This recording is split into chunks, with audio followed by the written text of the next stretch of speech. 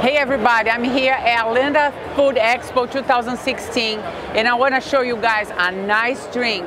I'm here with Katsu, my friend for Choya, and come with me. I'm going to show you exactly what he's doing.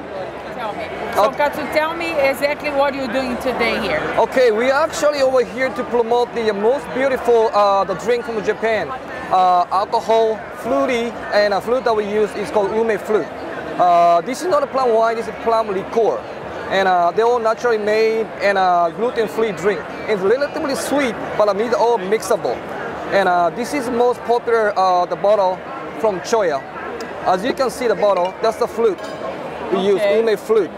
This is a uh, unbelievably fruit, uh, super. Uh, has a lot of health benefit, contain a lot of potassium, vitamin, mineral, everything that you need for your body. And also, even though this is alcohol, what's good for your body is good for your liver too. So you can actually drink choya and fix your liver too. But anyway, uh, what we've been doing today is the uh, use a choya classic and uh, mixing with the ginger beer. It becomes I'm more. ready for that. So what you can do is grab some ice and uh, put a little bit of the, uh, the ginger beer and uh, maybe 50 to 50, one to one portion, choya, and a ginger beer. That becomes the most beautiful Asian Moscow Mule. Awesome. So please try this one. Thank you.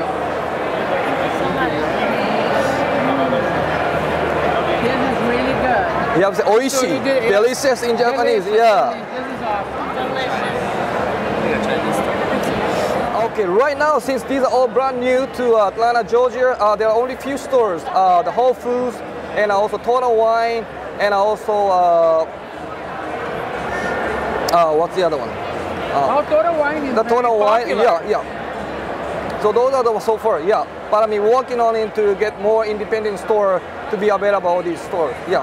Thank you very much. Anytime, thank you so much.